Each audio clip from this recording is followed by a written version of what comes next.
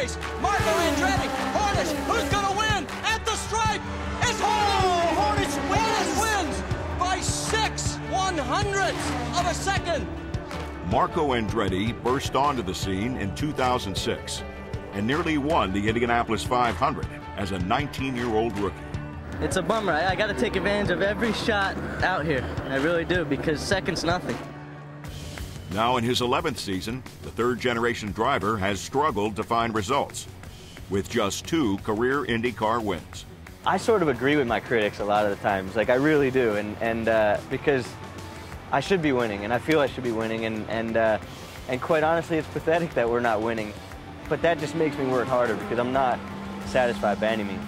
This weekend, after nearly a decade away, IndyCar returns to Road America, a track rich with history and filled with Andretti wins. Mario Andretti takes the checkered flag as the winner of the Provimi Veal 200. Michael Andretti takes the checkered flag of victory. His dad and grandpa both won here three times. Now it's Marco's turn to step out of their shadow and win at Road America. There's nothing like an IndyCar around this place. I mean, uh, my first couple of laps here, I, I literally had a smile on my face. I, um, you know, I really, really enjoy this place. It, it instantly became my, uh, my favorite racetrack in North America.